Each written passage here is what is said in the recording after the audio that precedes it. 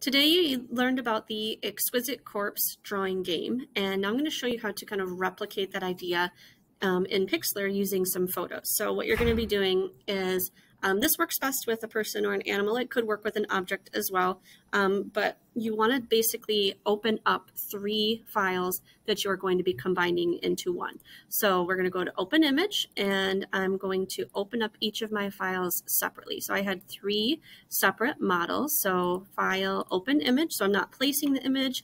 I'm not adding them as a new layer. I am just opening them as separate files. Um, that way I have three tabs of each of the photos I'm going to be using. So I should have three tabs with three different photos. So I've got one, two, and three. Um, so start with whatever you're going to use as your base image, and then you're going to take pieces of your other photos to attach to your base image. So I'm just going to be using my marquee tool. So let's say I wanted to pull this section of the face here. So I've got it selected, edit, copy. I'm going to go over to my tab with my base, edit and paste.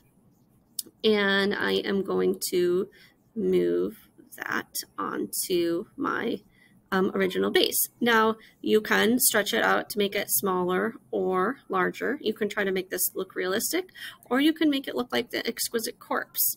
Um, but you are basically taking pieces from your other images to cut and paste into the other um, base photo. So highlighting it, edit, copy,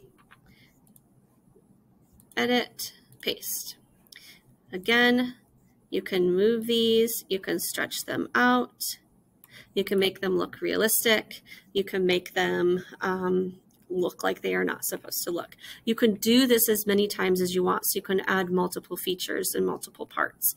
Um, another thing that you might want to consider is just playing around with your adjustments. So maybe see what it looks like in um, black and white. Um, if you're going to do black and white, um, you're going to have to either change each of the pieces into black and white or just do um, it all together as one. I kind of like the way it looks in black and white. Um, it makes it harder to tell that I've done some editing. Um, you can also play around with temperatures and tints if you want to give it you know, some color. Again, um, you're going to have to change your layers. One other thing, if you don't want to change your layers, is just go to your top layer. And if you remember, we can merge down. So we can either flatten or merge down. Um, and when we do that, we basically make it one image. So now when we are doing the adjustments or playing around with the temperatures and tints, it is doing that for the whole thing.